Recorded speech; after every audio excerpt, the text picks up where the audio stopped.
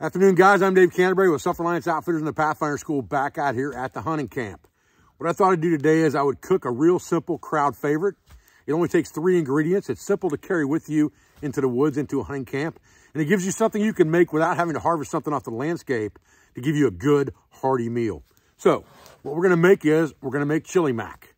And we're gonna use three simple ingredients for that. We've got one can of Keystone pre-cooked ground beef here.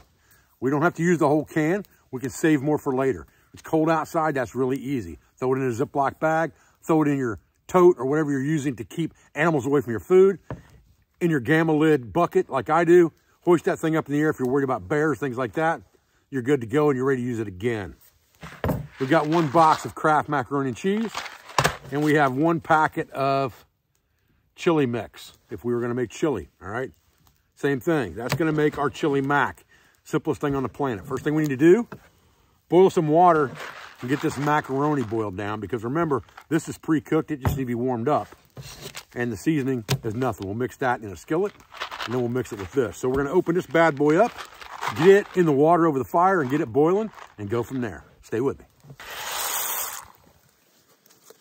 All right.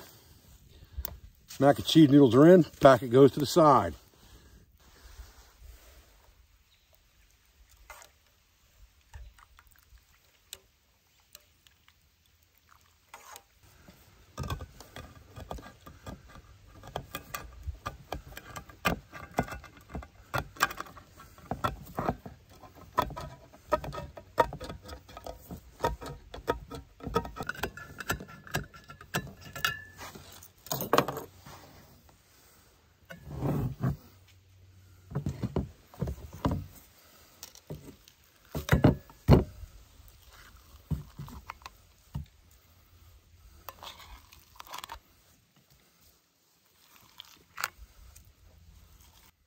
I like grease now. Good stuff, Maynard. All right, get this heated up in the skillet. Ready to add some mac and cheese bad boy and some chili seasoning. Ready to go.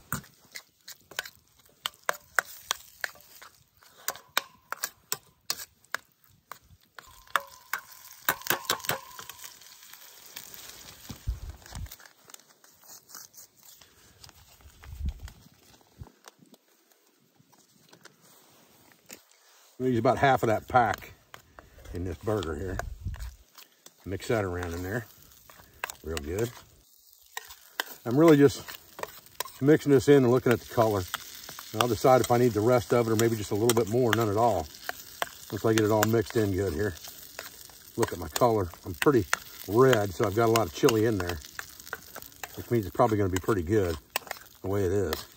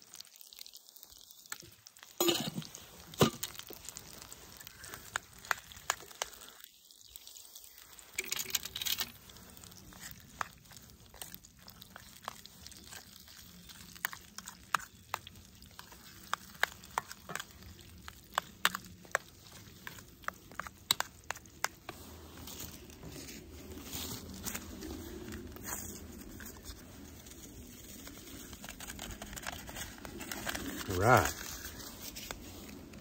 Last but not least, three cheese mix in there.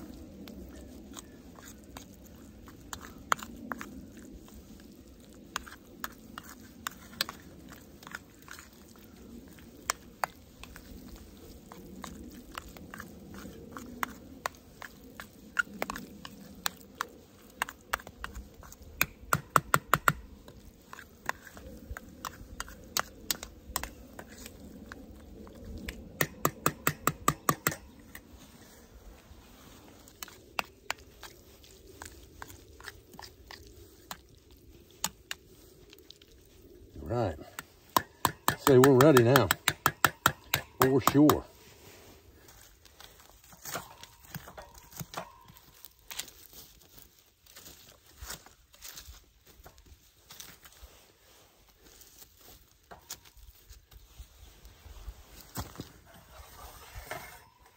right. Get our coals out from underneath there. Let it cool down for a minute. Better eat some victuals. Now, while our dinner's cooling down, we're gonna start prepping to wash things up. So, what we're gonna do is we're gonna take the biggest pot we've got, which is our three quart bush pot. We're gonna get some hot water in that dude. Now again, this could be creek water. You could just take this right out of the creek, wouldn't be a big deal. You're gonna boil it anyway. And boiling kills just about everything. But we'll go ahead and take this pot and put it over the fire with some water in it.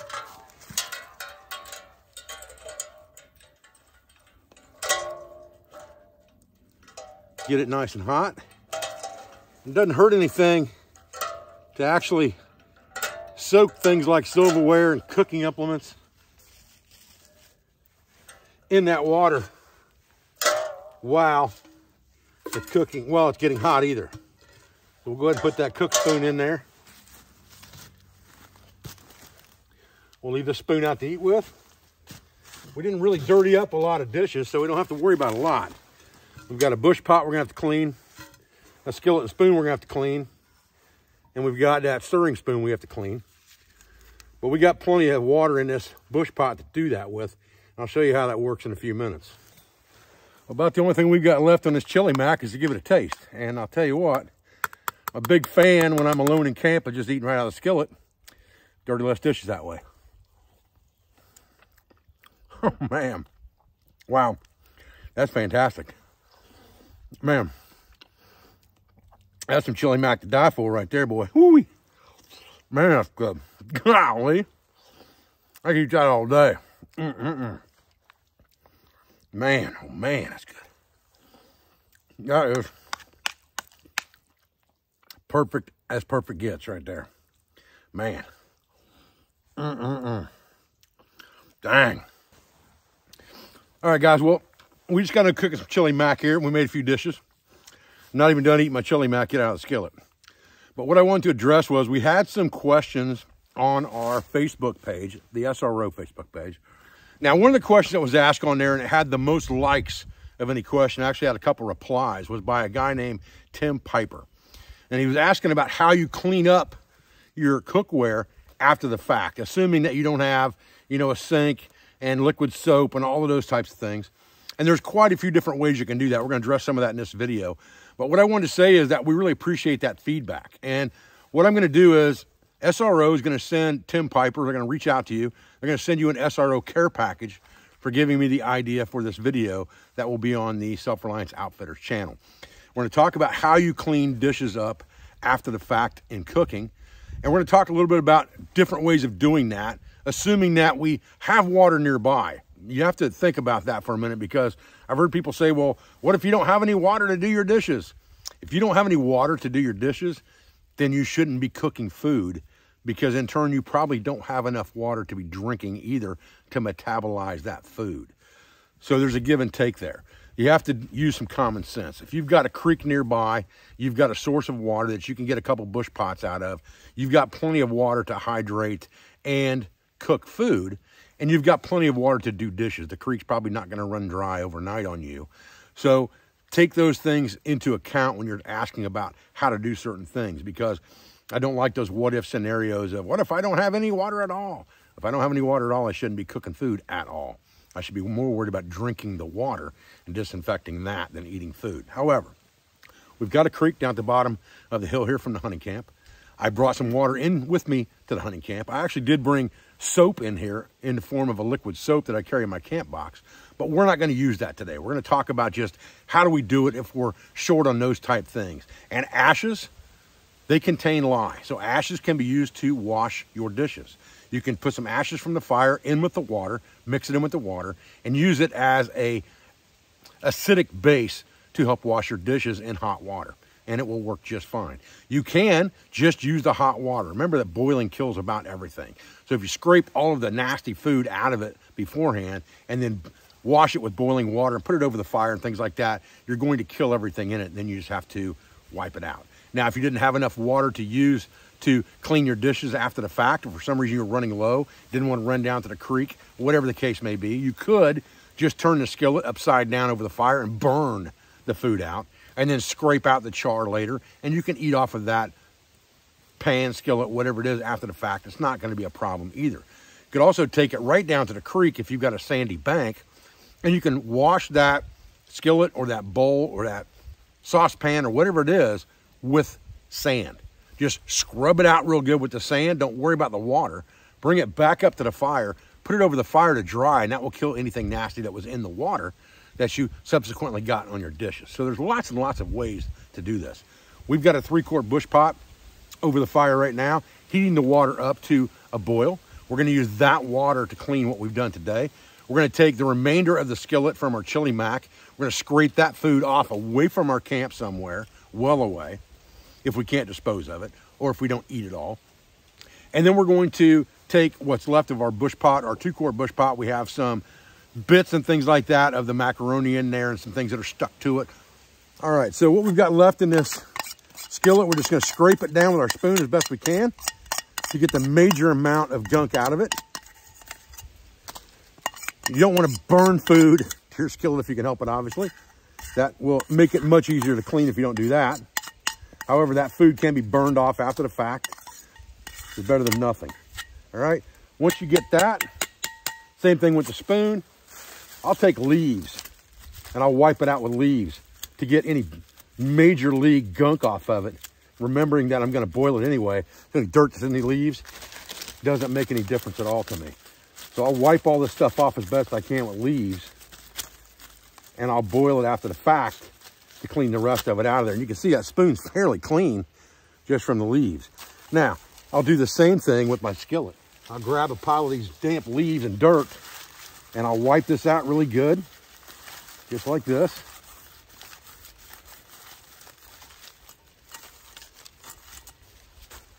Grab another pile. And you can see most of the stuff is out of that skillet now. Now I just need to boil some water in it. It's gonna be good to go. Okay, so I've done pretty much the same thing with all of my cookware, wiped it out with those leaves. Now all I'm gonna do is come in here, grab this bush pot, pour a little bit of water in the skillet, right over top of the utensils, just like that. Pour some water in this bush pot. I'll just transfer all of the water from one to the other. I'll take this bush pot off because it's clean. It doesn't matter. Set it off to the side. I'll take this bush pot and put it over the heat so that water stays hot. Just like that. Now, if I don't have a rag, I'll just use my hands. And I'll wipe the inside of that skillet down really good with that hot water. And then I might even boil that water on the skillet while it's sitting here. But you can feel with your hands, you can feel any junk that's stuck to the bottom of that skillet and you can wipe it out. If you got a rag, wipe it out with a rag. Take some kind of a camp rag or bandana, get a little bit of the water out of there so I'm not sloshing around too much on our fire. Just wipe that down really good. Dump it out. Turn it over right over top of the fire, just like that. Take these utensils, wipe them down the same way. You can do it with your hands or you can do it with a rag. It doesn't really matter. A hot, hot, hot bandana will do the same thing. And you can put those utensils right over the fire as well, over the heat there, and it's not going to hurt anything at all to do that. And this bush pot's already overheat with water. So all we need to do now is scoot some heat underneath this stuff to dry it out. Get some heat underneath this bush pot. Build our fire up a little bit. We're going to have clean dishes here in just a minute.